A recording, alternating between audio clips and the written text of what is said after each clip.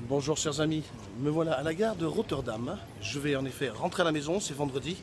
Et comme pour tout le monde, eh les vendredis, c'est l'occasion de penser au week-end. Voilà, vous voyez, je suis comme tout le monde, hein, euh, fatigué de la semaine, beaucoup voyagé, beaucoup travaillé. Et je vais maintenant prendre le train, le TGV, le Thalys pour aller jusqu'à Paris et puis Paris-Biarritz.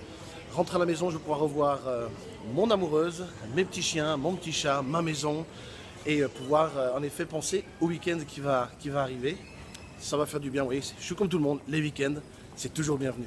Alors à vous, je vous souhaite un bon week-end. Profitez de votre journée, de votre vendredi et euh, faites le meilleur.